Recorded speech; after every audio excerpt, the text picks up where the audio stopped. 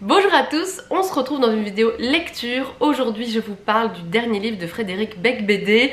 Alors pour le titre ça va être un peu compliqué, je pense que déjà là il a déjà bien se marrer à se dire bon bah quand il y aura des gens qui vont m'interviewer pour le, livre, ils, seront pas comment on doit le, dire, donc déjà là ça sera bien marrant. Donc voilà, le titre de son livre c'est ce smiley, on dit lol, mort de rire, l'homme qui pleure de rire, enfin que sais-je. Moi en général j'envoie ça euh, quand, euh, quand je vous dis haha ou euh, mort de rire. Voilà, donc moi c'est plus le smiley mort de rire. Et donc le bouquin va nous parler d'une situation réelle qui est arrivée à Frédéric Becbédé, mais il s'en sert en fait pour en découler euh, un roman, une histoire totalement barrée. Enfin, il utilise voilà, un fait réel qui lui était arrivé pour pouvoir enjoliver et faire ce qu'il veut avec. Donc tout commence euh, lors de, sa chronique à France Inter. Je crois que tous les mercredis, il devait présenter une petite chronique de 3 minutes. Et il décide un jour d'arriver sans filet, au talent, en mode j'ai rien écrit, j'y vais comme ça, on verra bien ce qui va se passer.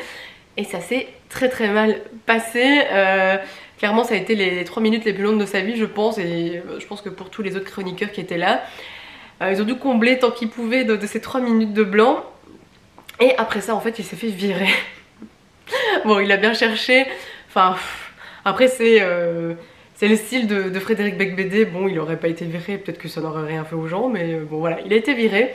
Et donc il se sert de cet événement pour utiliser son personnage fétiche, hein, euh, Octave Parango, qu'il utilise aussi dans 99 euh, francs et l'idéal que je n'ai toujours pas lu pour raconter comment il en est arrivé à arriver comme ça chez France Inter et ne pas avoir de papier euh, en fait, il nous raconte que bah, il arrive la veille, enfin son personnage arrive la veille à Paris et que bah, il va passer une soirée euh, euh, de débauche, hein, comme, comme, comme, il le fait, comme sa réputation le veut.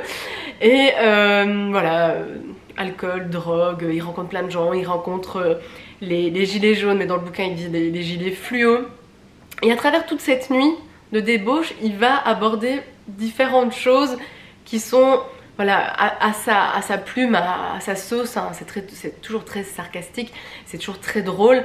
Euh, il nous raconte par exemple qu'on euh, devrait euh, inventer une école de, du rire, hein. au, Québec ça se fait, pour être le, parfait humoriste, et il, énumère comme ça plein de règles, c'est assez, drôle. Pendant sa nuit de débauche, bien sûr il a envie de draguer une meuf, hein, il a envie de coucher avec une meuf, et, c'est vrai qu'avec l'actualité du hashtag MeToo ou balance ton porc, voilà, il nous explique que c'est quand même vachement plus compliqué de, draguer une fille à l'heure actuelle. Faut être sûr que euh, tout se passe bien, limite à faire un contrat juste avant. Enfin, il y a tout un, chapitre là-dessus, c'est hyper drôle. Il explique aussi comment on pourrait aller prendre l'Elysée. Euh, euh, de faire une révolution à l'heure actuelle que voilà des gilets jaunes ça, n'irait pas mais tout le monde se ramènerait en costard cravate et là ça irait pour prendre l'Elysée enfin voilà il, dresse tout un portrait de la, société actuelle que en fait tout part en, dérision, tout est drôle même quand ça ne l'est pas.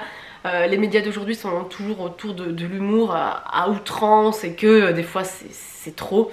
Voilà, c'est un livre que en fait franchement j'ai aimé mais euh, Malheureusement, j'ai pas aimé la fin où en fait je ne sais pas vraiment si c'est à cause du bouquin ou si c'était mon état de santé à ce moment-là, vu qu'en fait je viens de terminer deux semaines de grippe où je n'ai fait que lire, c'est pour ça qu'il va y avoir quelques vidéos de, lecture ces, ces, prochaines semaines, c'est l'avantage de la grippe, mais en fait j'ai eu énormément de mal à le terminer et je sais pas du tout si c'est la grippe qui a fait que je me faisais chier, que j'étais pas dans le livre, alors que j'ai adoré le début, que ça m'a vraiment... Euh, enfin, ça m'a fait rire comme d'habitude, quoi. Enfin, pour les femmes de Frédéric Becbédé, euh, vous serez pas déçus. C'est toujours un peu what the fuck, que, sarcastique comme à son habitude, très drôle.